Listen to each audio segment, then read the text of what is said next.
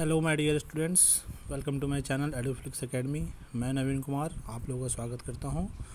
और आज हम लोग अपने बीएससी ऑनर्स एग्रीकल्चर जो हमारा प्रोग्राम है, उसके अंतर्गत जो हमारा सिलेबस वीड मैनेजमेंट है, उसका आज हम लोग लेक्चर टू जो टॉपिक है हमारा क्लासिफिकेशन ऑफ़ वीड्स हम लोग उसका आज स्टडी करेंगे।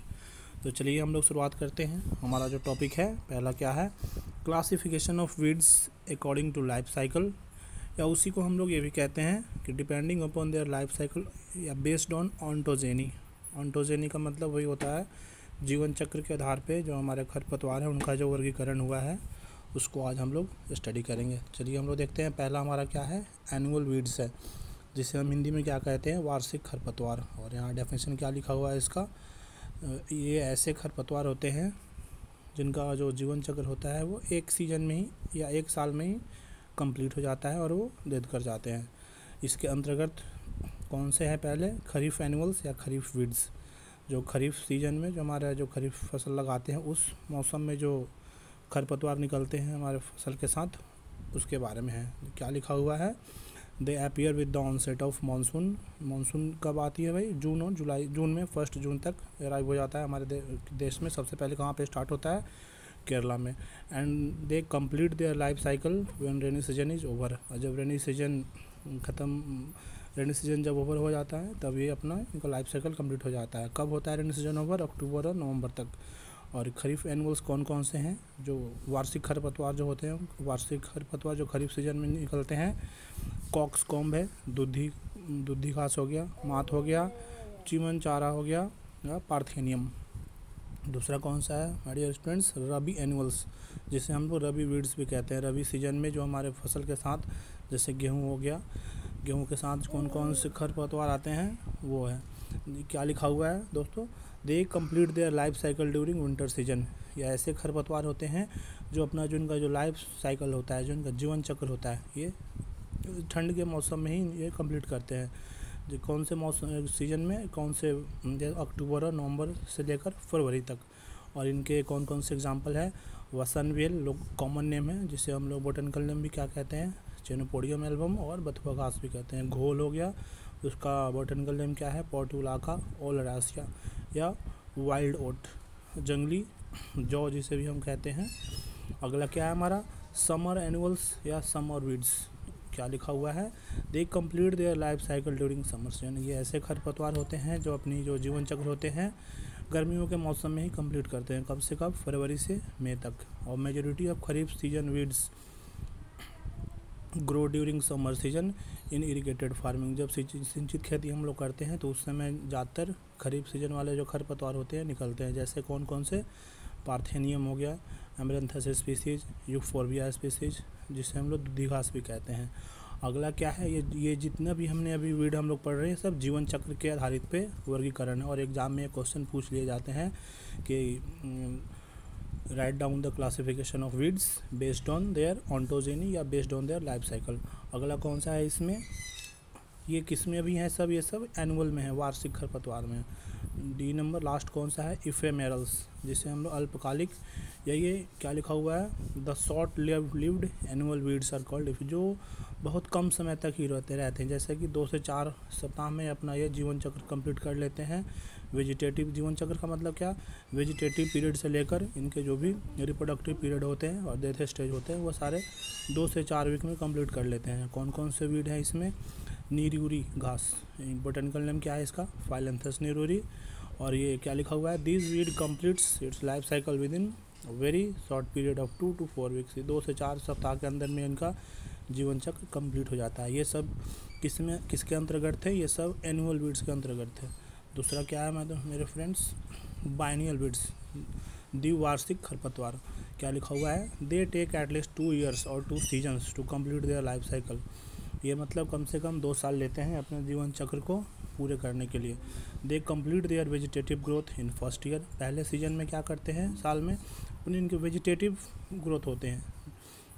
और अगले सीज़न में क्या होता है? दे प्रोड्यूस फ्लावर अगले सीज़न में क्या होते हैं? इनके फूल वगैरह निकलते हैं एंड सीड्स और बीज वगैरह इनका निकलता है अगले सीज़न में।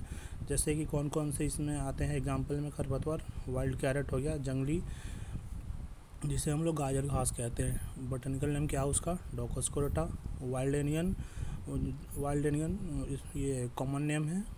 और इसका बटनिकल नेम क्या है? एसपोडेलस स्पीसीज। वन प्याज जिसे हम कहते हैं। अगला क्या है? जंगली गोभी, जिसका बटनिकल नेम क्या है? Launaea species. My dear students तीसरा कौन सा क्लासिफिकेशन है? किस पे है? कौन सा है? मतलब इसी के अंतर्गत ऑन्टोजेनी के अंतर्गत जीवन चक्र के अनुसार प्रेनियल विड्स इसका हिंदी क्या होता है? बारह मासी खरपतवार।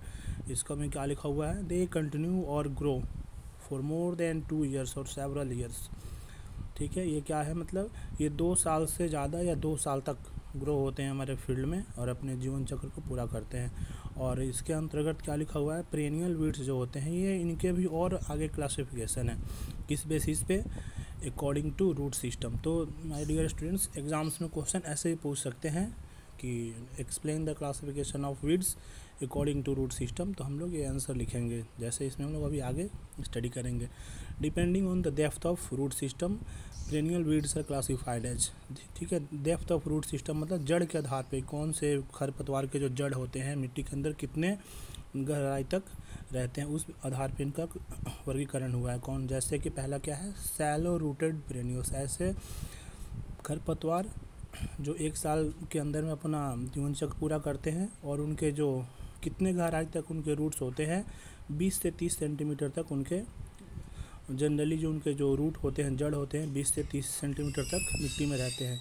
वही लिखा हुआ है those perennial weeds having about 20 to 30 centimetre deep root system are called shallow rooted perennial weeds जैसे एग्ज़ाम्पल हरियाली साइनोडोन डेक्टालिन जो हम दूध, दूब घास कहते हैं क्वैक ग्रास एग्रोफायरन रिपेंस अगला क्या है दोस्तों?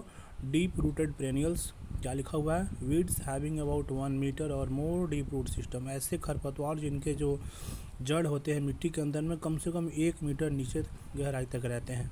वैसे को हम लोग डीप रूटेड पेरेनियल्स के अंदर में आते हैं। कौन से एग्ज़ाम्पल है इसमें?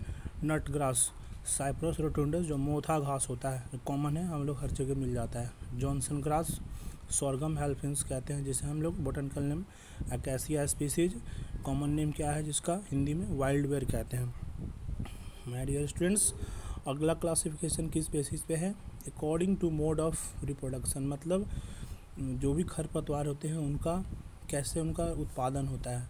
इसके अंतर्गत पहला क्या है? सिंपल प्रेनियल्स वैसे खरपतवार जो एक वर्ष में जिनका उत्पादन होता है कंप्लीट हो जाते हैं और वो जो खरपतवार होते हैं जनरली कैसे उनका प्रोडक्शन होता है?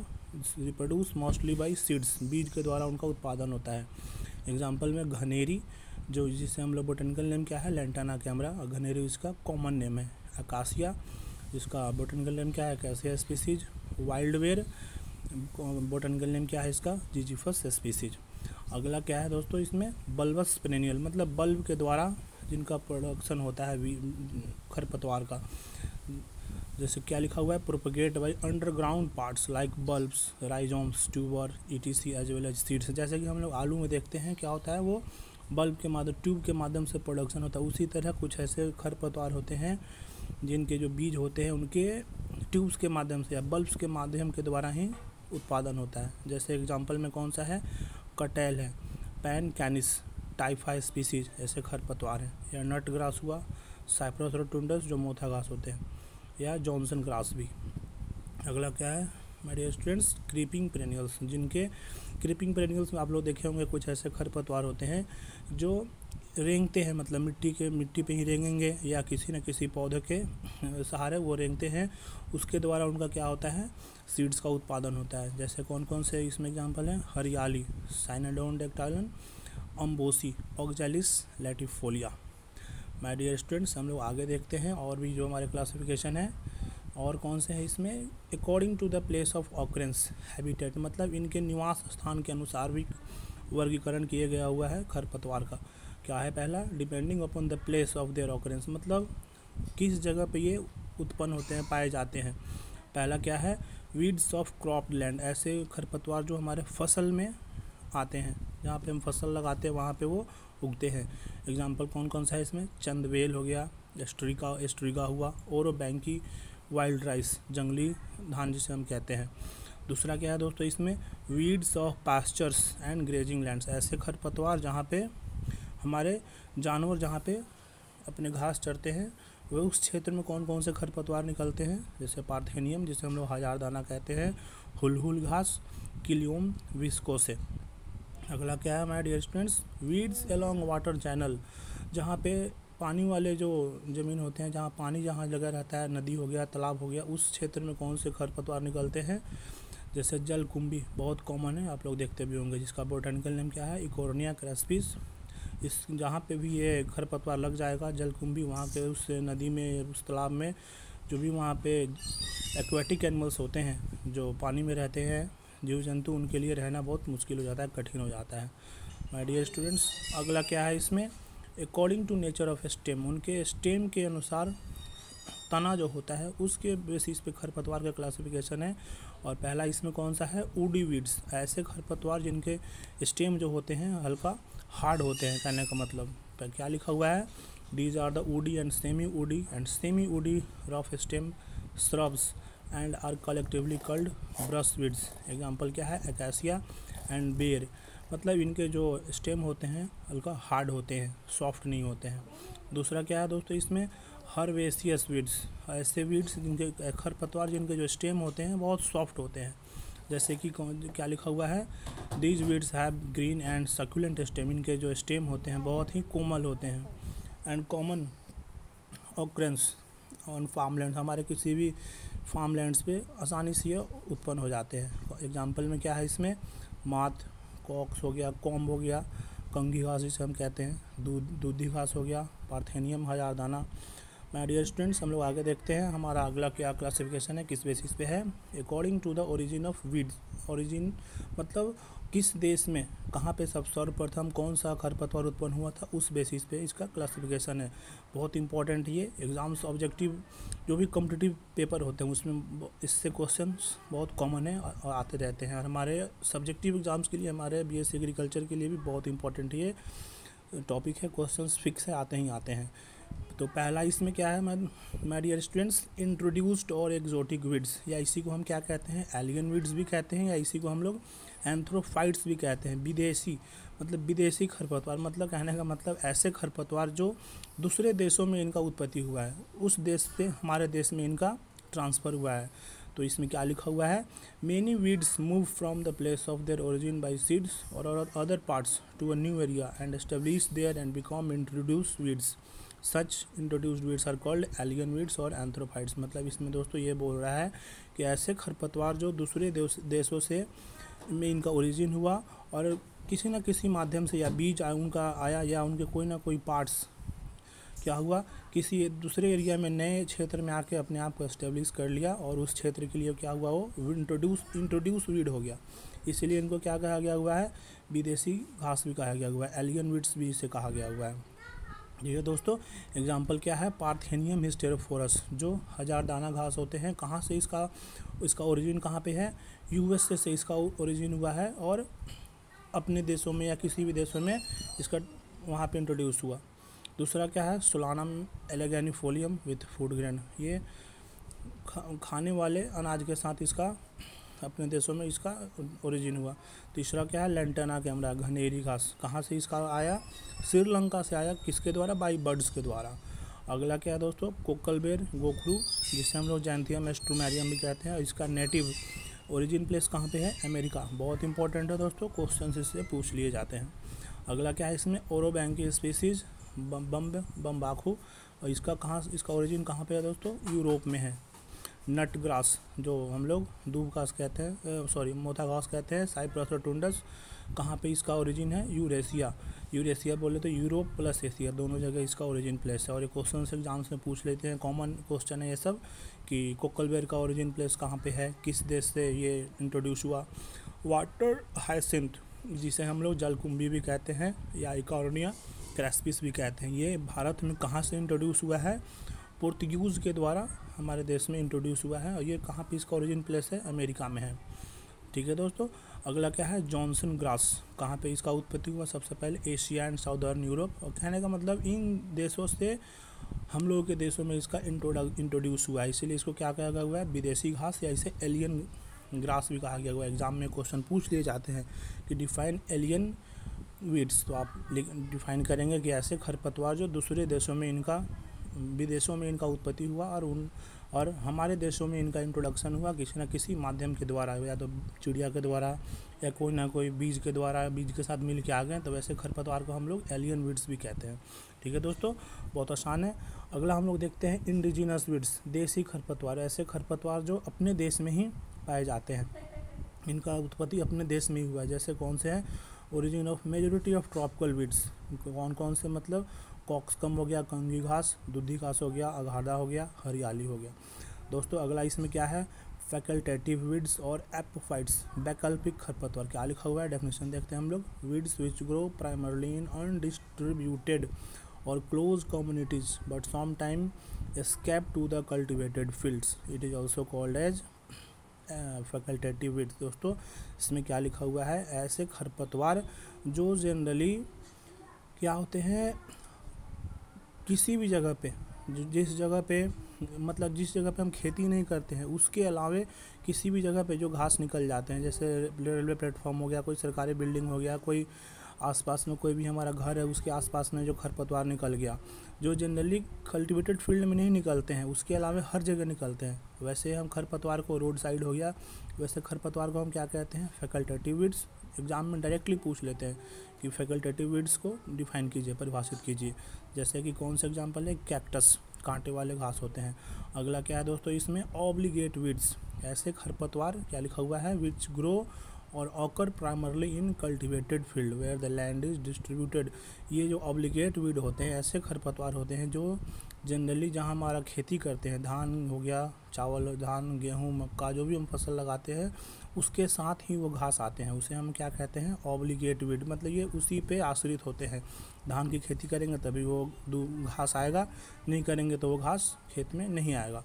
तो एग्ज़ाम्पल में क्या है? चंदवेल या दूसरा क्या है?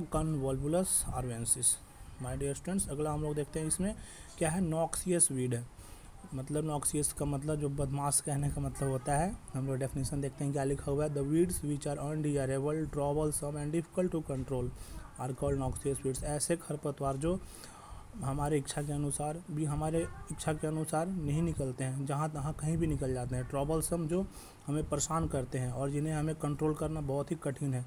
नॉक्सियस का मतलब बदमाश होते हैं, बदमाश कैसे लोग होते हैं? जिन्हें हम कंट्रोल नहीं कर सकते, हमारी बातों को नहीं मानते हैं। तो उसी की सेंस में खरप, ये कैसे खरपतवार है, जो हमारी इच्छा के अनुसार कहीं भी निकल जाते हैं और इनसे कंट्रोल करना, नियंत्रण करना बहुत ही मुश्किल होता है। जैसे कि एग्ज़ाम्पल में कौन से है? नटग्रास, जिसे हरियाली हो गया, पार्थेनियम हो गया, हजारदाना, एस्ट्रीगा, ओरोबैंकी, जलकुंभी जैसे हम लोग कॉमन नेम इंग्लिश में क्या है इसका? वाटर हाइसिंथ अगला दोस्तों, इसमें कौन सा वीड है? ऑब्जेक्शनेबल वीड्स जिसको हम लोग डेफिनेशन देखते हैं क्या ऑब्जेक्शनेबल वीड्स क्या होते हैं? Weeds which produce seeds that are difficult to separate once mixed with crop seeds are called objectionable weeds ऐसे खरपतवार जिनके बीज हमारे फ़सल के फ़सल के बीज के साथ मिक्स हो जाते हैं, जिन्हें सेपरेट करना बहुत कठिन हो जाता है, उस वीड को हम क्या कहते हैं? ऑब्जेक्शनेबल वीड जैसे कि एग्जांपल में बहुत ही कॉमन है ये the mixture of Argemone mexicana जो सत्यानाशी जो कहते हैं, इसके बीज जो होते हैं, मस्टर्ड के साथ जब मिक्स हो जाते हैं तो इन्हें सेपरेट करना बहुत मुश्किल हो जाता है, क्योंकि ये बहुत ही सेम सेम सिमिलर इनके बीज होते हैं।